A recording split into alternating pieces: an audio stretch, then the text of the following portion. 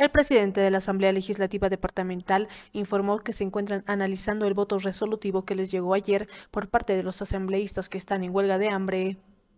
Hemos estado en estos días con el tema de la huelga de hambre que lo han realizado algunos colegas con varias eh, o con varios cambios en un pedido que ellos tenían. Inicialmente pedían que no se les descuente el día jueves, luego el día viernes mencionaron algunos temas administrativos, ¿no? que son más internos.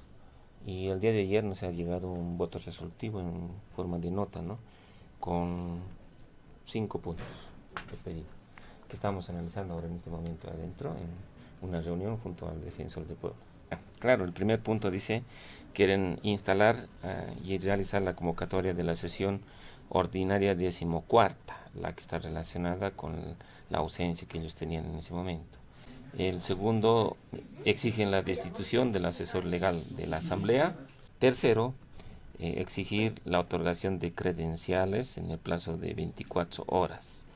Cuarto, exigir se proceda la contratación legal a la brevedad posible del asesor de comisiones. De, estaban hablando de la Comisión de Medio Ambiente, que no tiene asesor. Quinto, eh, exige al presidente de la directiva es respecto a la defensa de los derechos políticos, ciudadanos, etcétera, etcétera.